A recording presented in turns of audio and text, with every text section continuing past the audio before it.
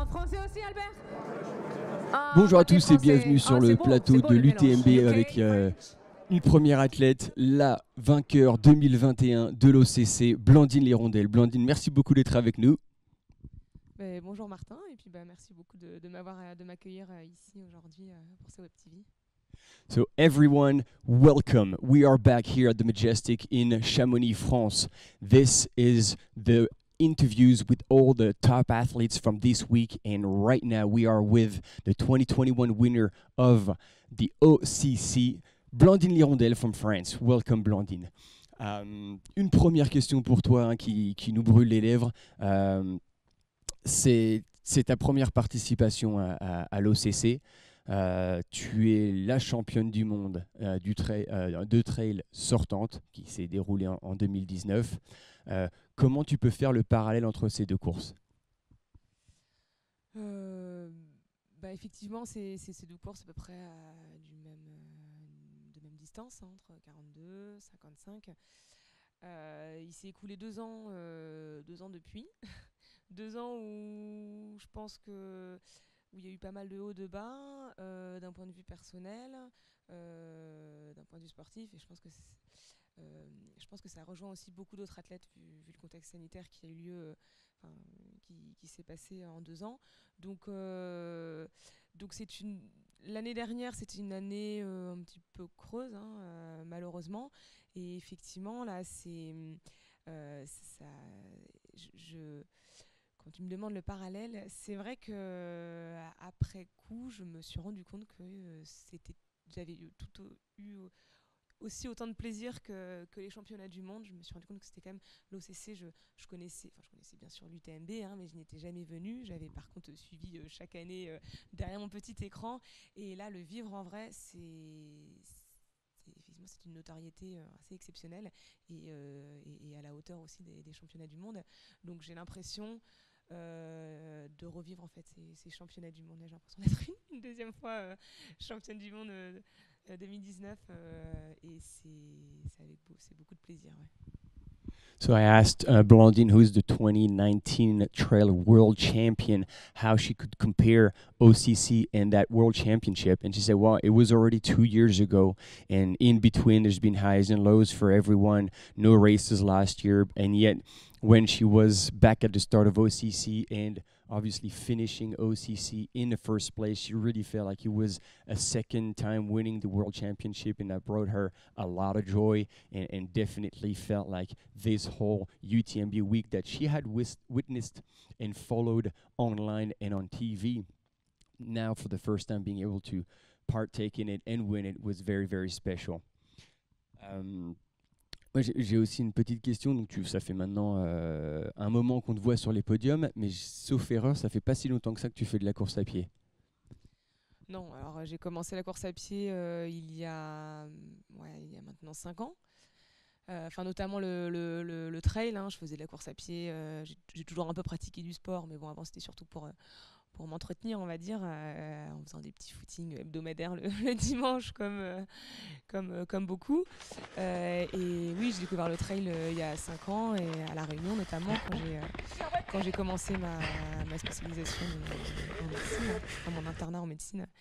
Et après, tout allait, tout allait très vite, comme vous le savez. Mais, c'est tout nouveau. Enfin, je peux plus trop dire maintenant tout nouveau, mais, mais effectivement, c'est pas, si, pas si que ça. So um, I asked Blondine that how she has uh, gotten into running because this is actually fairly new to her. She was explaining that yes, she's been always doing the odd uh, weekly jog, uh, but nothing more. And it's only five years ago when she moved to La Réunion Island for her uh, medicine studies that she discovered uh, trail running and. Um, ended up falling into it. So she's only been trail running for five years. Ladies and gentlemen, imagine that five years and two years ago, she won the world championship.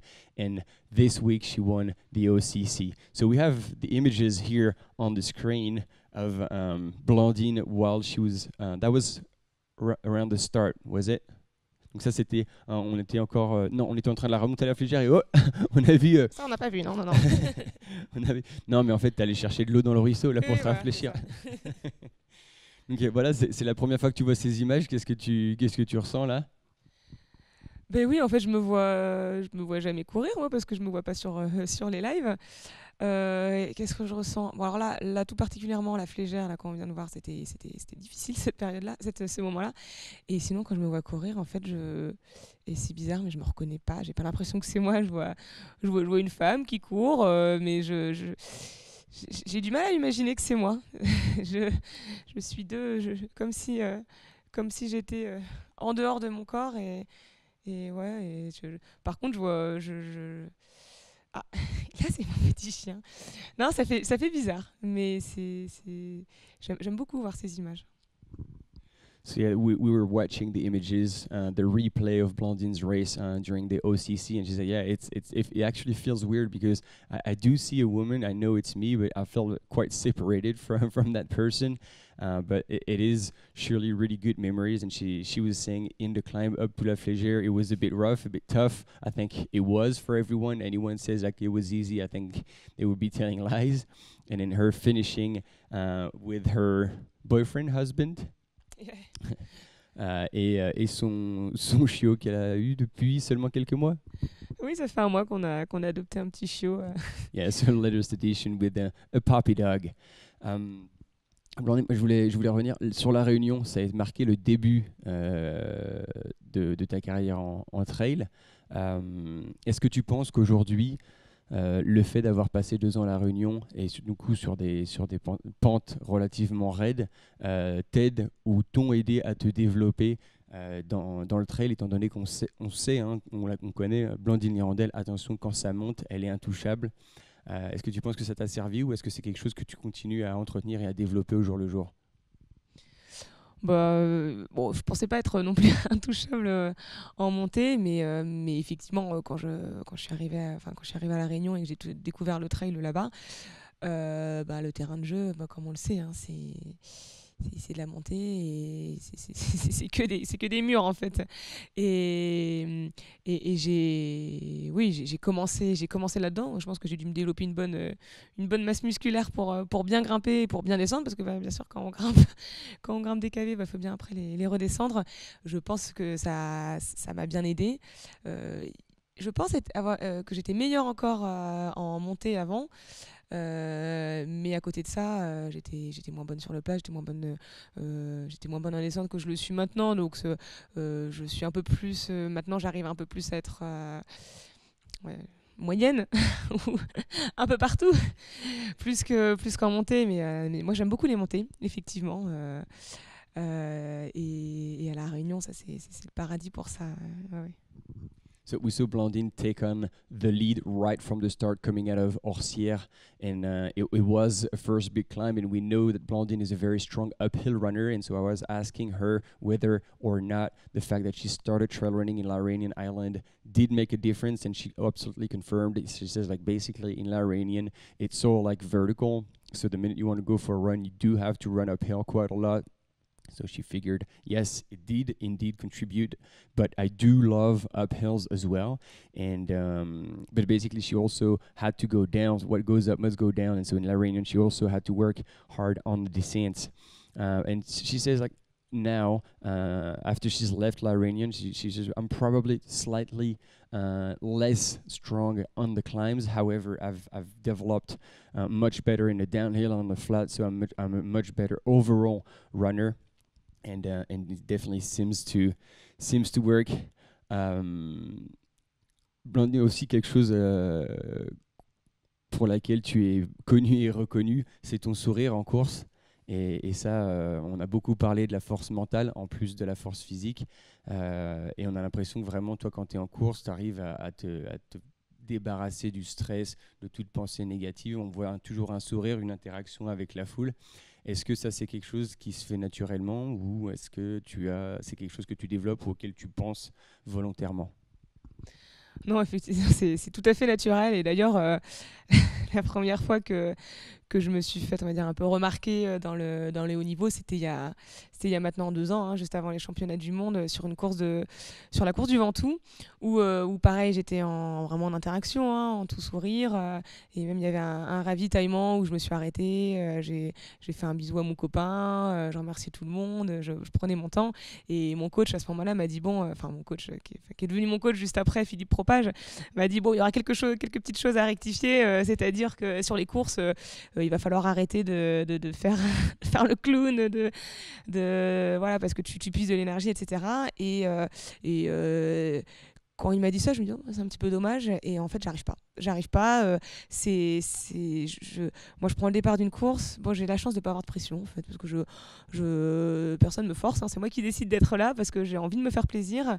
Euh, quand, quand, je suis sur les sentiers, que je vois les gens qui même, même ne serait-ce qui prononcent mon prénom. Alors surtout là, comme j'avais le prénom sur mon dossard, on a l'impression qu'on, se connaît. Donc euh, et puis c'est pour remercier aussi les gens hein, qui sont qui sont là pour pour nous supporter. et ouais, c'est j'arriverai pas à être euh, fermée, moi j'arrive pas à être euh, dans ma bulle. Il faut que je partage tout, tout ça avec, euh, avec les gens. j'ai envie, je sais aussi qu'il y a la télé qui me suit. J'ai envie, de montrer à ceux qui me suivent, ma famille, mes amis, que, que, que, ça se passe bien et que je suis contente d'être là parce que, parce que voilà, moi, c'est, ça, c'est ma force. C'est le plaisir, c'est le plaisir de courir, c'est, ma force. What a fantastic testimonial. Basically, as like, well, we know you because it's a very uh, contagious smile that you have and you carry all throughout the races. And I said, Is this something you work on or is this something very natural? And she said, No, it's absolutely natural. So much so that when she started trail running two years ago, two years ago, her future coach told her like hey you know okay we're going to have to work on this because during races it is not to goof around and to play around and to ha- have a laugh you, you got you got to be serious but she she tried and that's just not working that's not, not who she is. And she said when i'm, I'm nobody's forcing me to race I'm, I'm, there because i want it.